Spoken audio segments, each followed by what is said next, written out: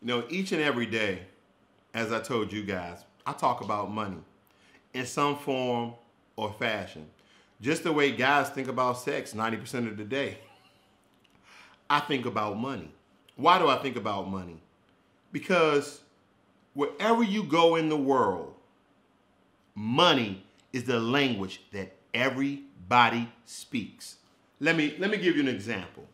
If you go to India and you don't even know how to speak the native tongue, but you have their money, okay? You have their money in your hand, and you like you point at an item, you like, how much is that? And you spread your money out.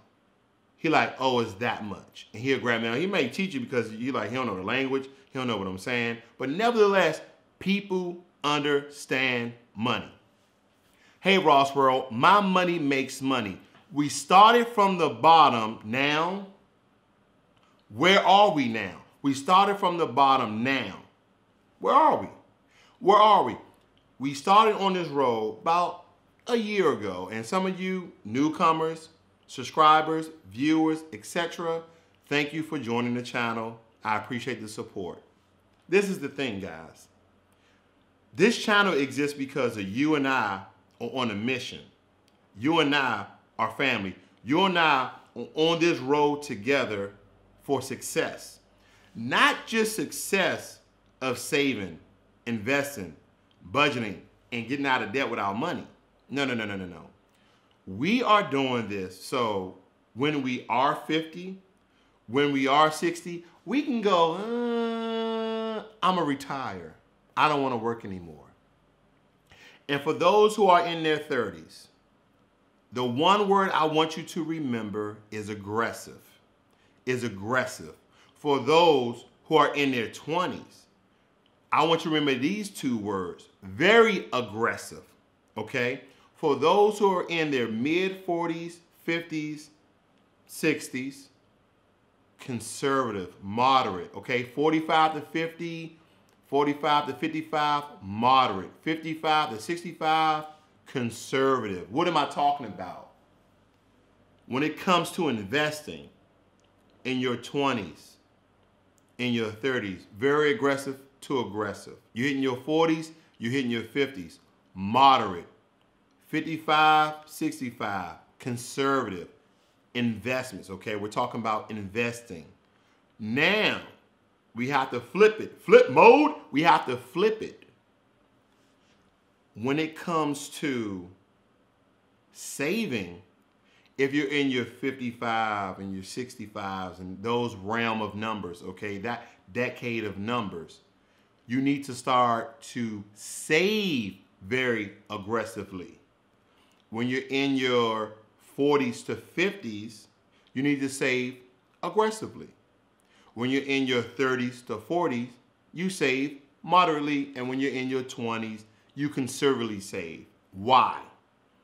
As you start to get older, you want to start securing funds more rapidly than before and not being more riskier in your investment because the older you get, you don't want to lose money because you ain't going to be working to make money.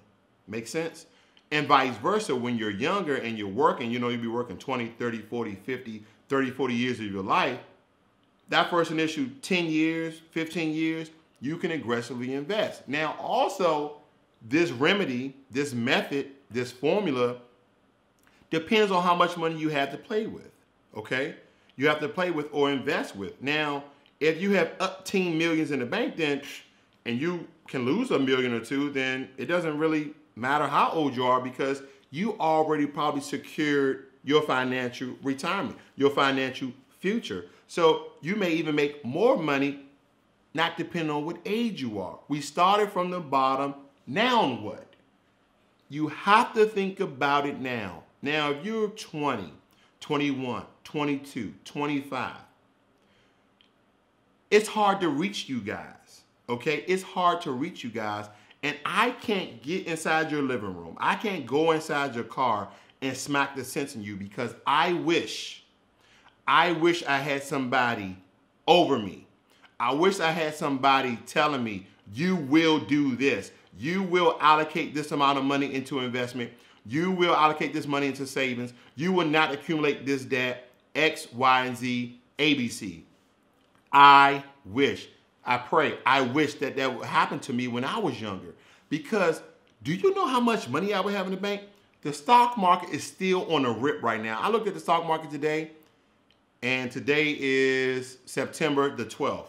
Okay, September the 12th. It's on an absolute tear.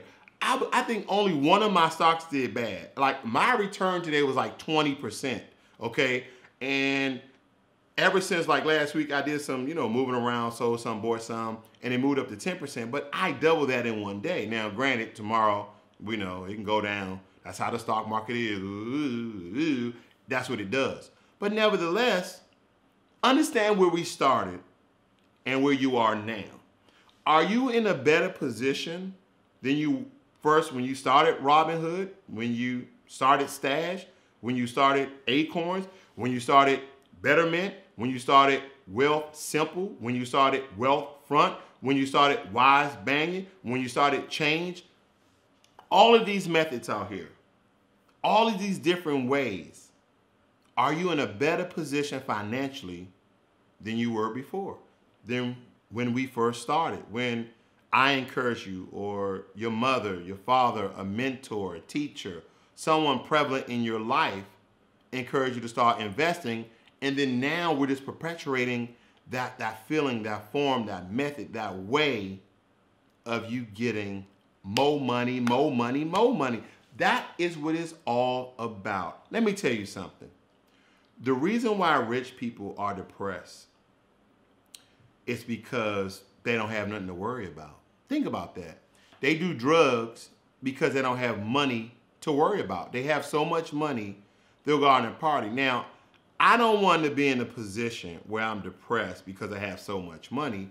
That's when you have to find a goal in life. Like, I never hear anything horrible about Bill Gates or Warren Buffett. Warren Buffett's in his 70s or is in his 80s now. He's a pretty old guy and he's been rich for a long time, but he keeps himself busy by investing. So, rich people who have all this money and they don't really have any goals or anything they want to accomplish in life, them the ones who do bad. Because you're like, why do they so depressed, killing themselves if they have all this money? Because they don't know what to do. They don't have a goal. So regardless of how much how much money you accumulate, guys, keep a goal in mind. Keep it going because you started from the bottom and now you're here. Okay? And now you're here. So don't go into your investments.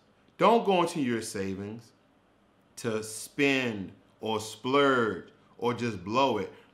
I'm gonna tell you the one, the number one answer that really bothers me when people ask me in the comment section, walking down the street, talking amongst friends, that ask me about an app. Like, let's take for instance Stash. I really like Stash. They ask me about Stash, right? And they say, okay, yeah, five dollars to join, but when can I take out my money? Never. when are you gonna need this money? that is when you take it out. And see, people misconstrue, they misunderstand, they miscomprehend what's the difference between a need and a want. You want to take it out.